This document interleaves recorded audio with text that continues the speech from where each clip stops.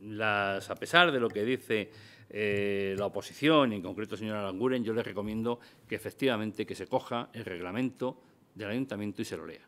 Y en el reglamento del ayuntamiento dice que las mociones son una declaración de intenciones.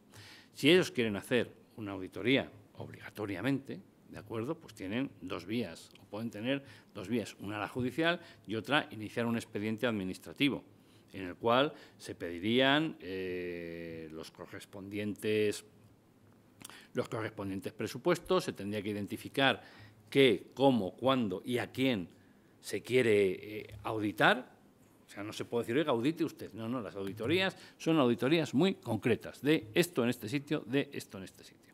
Y por lo que nosotros hemos testado y por lo que hemos visto en otros lados, pues no parece muy coherente tenerse que gastar entre 200 y 300 mil euros en hacer unas auditorías justo en el momento en que todos los procesos están cambiando y todos los procesos se están modificando. Y, y quiero dejar bien claro que esto lo conocía la oposición, quiero dejar bien claro la oportunidad de petición de la auditoría justo cuando todos sabían que estos procedimientos se estaban modificando.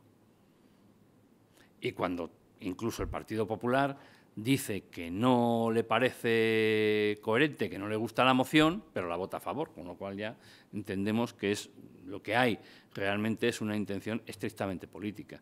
Y mire, a mí hacer política me parece muy bien, pero estamos en una administración local y gastarme 200.000 euros en hacer política, pues hombre, me parece a mí que es un poquito exagerado. Si se lo Secretaría de Intervención podrían hacer un informe sobre este asunto, pero hasta este momento la moción ha quedado en moción.